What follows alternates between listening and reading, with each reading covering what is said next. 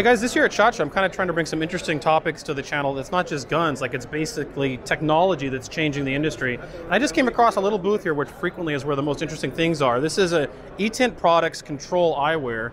It's ballistically rated eyewear protection that was designed for the military, but it is an electronic piece of gear that can both be photosensitive or manually controlled. So when I put it on right now, these are just clear, it's like just clear shooting glasses, and I hit the button, and it photosensitively or electronically turns it to essentially sunglasses for different environments and different light conditions. Set to the right setting as going in and out of dark environments, it will actually automatically turn from clear to dark or vice versa.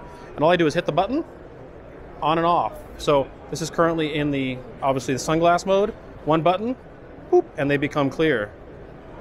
And then back to sunglasses, back to clear. You can order these right now through the e-tintproducts.com website or as well through Quantico. I believe it was Quantico Tactical and the MSRP was 249, I believe. So this is a very interesting kind of piece of equipment and frequently this kind of stuff matters more than the newest whiz bang gun thingy and this is our cyberpunk future coming to life.